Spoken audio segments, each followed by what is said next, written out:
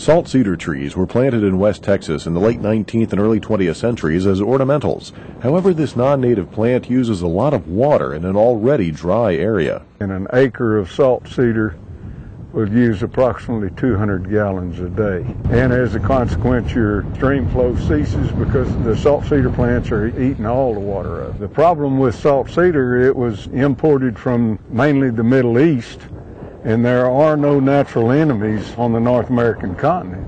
And as a consequence, it just went wild. The U.S. Department of Agriculture's Natural Resources Conservation Service is working with local landowners to control salt cedar. The Environmental Quality Incentives Program, or EQIP, is funding chemical and biological treatments. The Natural Resource Conservation Service has been uh, instrumental in working with the ranchers out here by providing them technical assistance through the Upper Colorado Soil and Water Conservation District. As a result, area landowners say salt cedars are less thirsty and streams have more water in them. I've worked on this ranch with my kinfolks since I was a little kid, and, and I, I don't remember the springs like this. And then another neighbor that's about 86 years old has got some country back west of us, and uh, he's seeing springs that he has never seen in his lifetime.